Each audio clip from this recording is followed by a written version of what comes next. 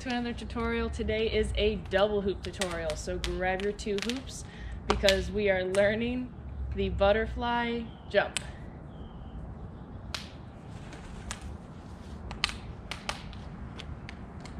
So a prerequisite to the butterfly jump is being able to do the butterfly.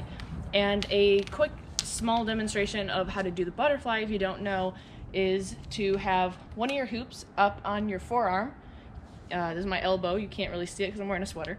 But so it's on your forearm, and you're going to spin it to your left. And you're just kind of bouncing your arm just a little bit to keep it going. And the one in your hand it is your palm is facing to the left and you're just going to drop it so it falls on your back of your hand and it's going to be spinning the other way on the palm of your hand and the back of your hand.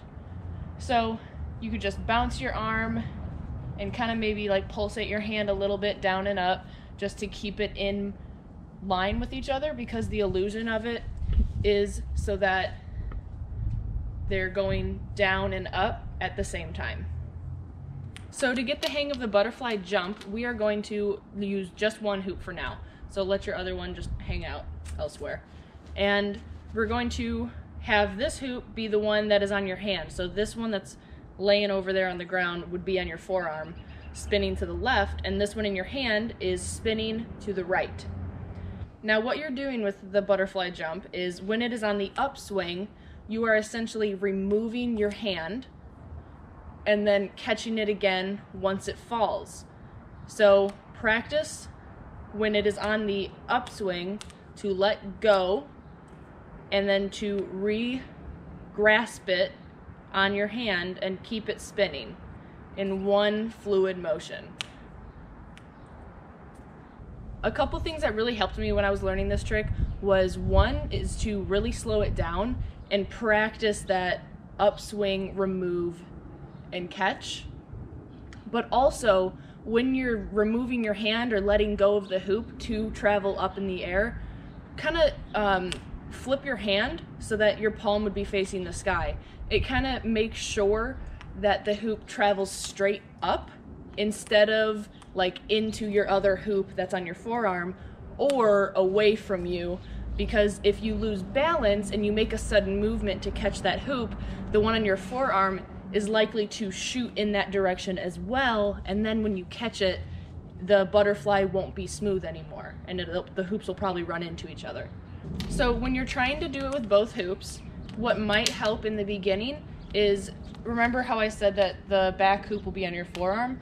Well, you might want to try to have it like behind your elbow, even on your bicep, because it gives your front hoop a little bit more room to mess up. Like if your toss is a little off, if it's too front, too forward, or too behind you, it kind of that extra space between the hoops gives it a little bit more wiggle room for errors.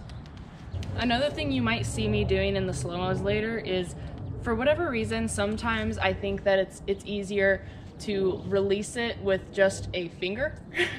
so it's kind of like when you're doing like the three beat weave and you're spinning it on your thumb. Um, I don't know, my my hand just likes to maybe release it with a finger. So, but I'm still like flipping my hand up when I release it with my finger most of the time. So, I mean, you can try that too if you're having trouble. so now I am going to do some slow-mos and kind of let you see my what my hands are doing and maybe it'll help you help you see it a little bit better.